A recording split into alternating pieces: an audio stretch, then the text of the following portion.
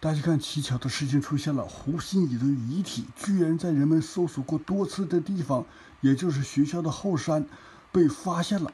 亲属们也说，这个地方我们也搜索过多次，没有发现小胡的任何遗迹，怎么突然遗体就出现在这个地方了呢？胡心怡的遗体被送到医院之后，医院称很快的就做了尸检，然后就火化了。家属也再就看不到胡心怡的遗体了，只知道胡心怡的身上有十元人民币。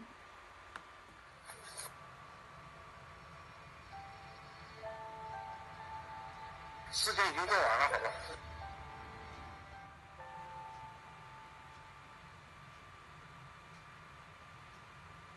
这里都有十块钱给他掏出来，其他口袋已经摸了，那些东西我都掏了，那东西。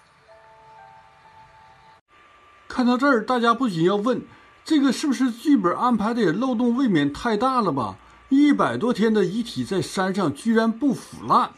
接下来我们看朗诵莎士比亚的诗，居然被拘捕了。我给大家念一首莎士比亚的诗。好，就喜欢文化人。我支持各位上。哦，不好意思，不好意思啊。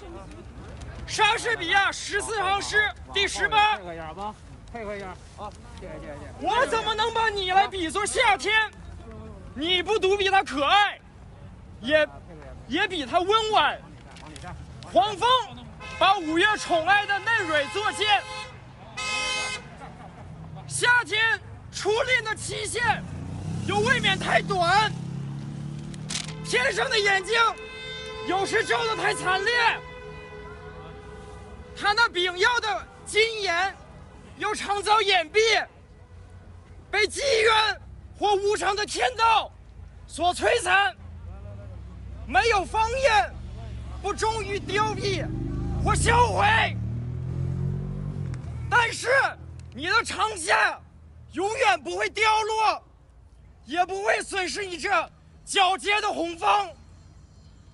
或死神夸口，你在他影里漂泊。